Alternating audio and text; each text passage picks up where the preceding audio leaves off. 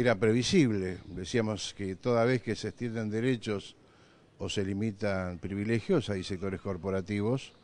que se abroquelan en defensa de sus intereses. Eh, es decir, este, este, este paquete de medidas que la señora Presidenta remitiera y fueran aprobadas por el Congreso, eh, despiertan, motivan dos actitudes.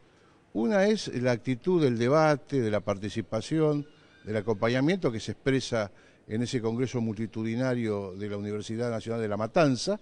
donde más de 10.000 jóvenes abogados, este, funcionarios judiciales y estudiantes de derecho participaron durante todo el día, eh, actitud y actividad que se va a repetir a lo largo del país, o directamente en estas expresiones corporativas de sectores colegiados, magistrados, ¿no es cierto?, que directamente este, en vez de debatir en su momento, simplemente sienten de que privilegios centenarios que disponían, hoy se terminan. El debate encierra precisamente esta divisoria de aguas entre quienes creemos que el pueblo debe ser consultado,